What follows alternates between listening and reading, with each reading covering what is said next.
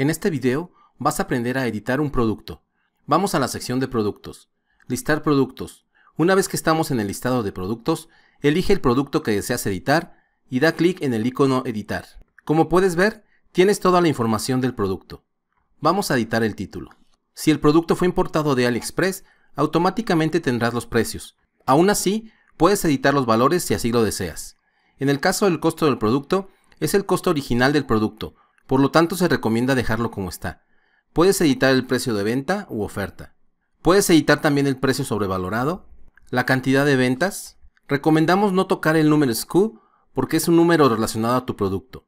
Tiempo de envío y en la sección de imágenes podemos agregar o quitar si así lo deseas.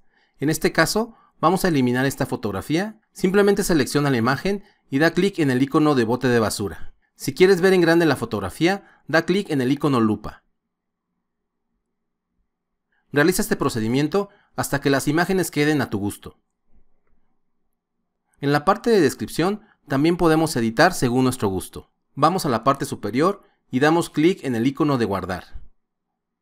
Si queremos realizar cambios en la sección de variaciones, damos clic en la pestaña y podemos realizar los cambios según lo requerido.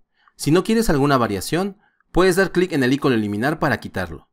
Si quieres modificar alguno de los datos, simplemente da clic en la caja de texto y haz el cambio necesario. Una vez terminados tus cambios, da clic en el botón almacenar.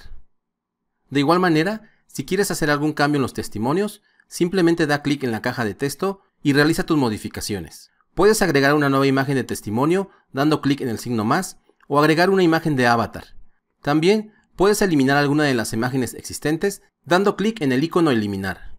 Una vez que realices tus cambios, da clic en el botón guardar. Si tienes información en la sección de variables, puedes realizar los cambios que desees. Recuerda que la sección de variables únicamente está disponible para las plantillas dinámicas. Regresamos al listado de productos y podemos ver que los cambios se han aplicado. Puedes ingresar nuevamente para verificar. De esta manera, has aprendido a editar la información de tu producto.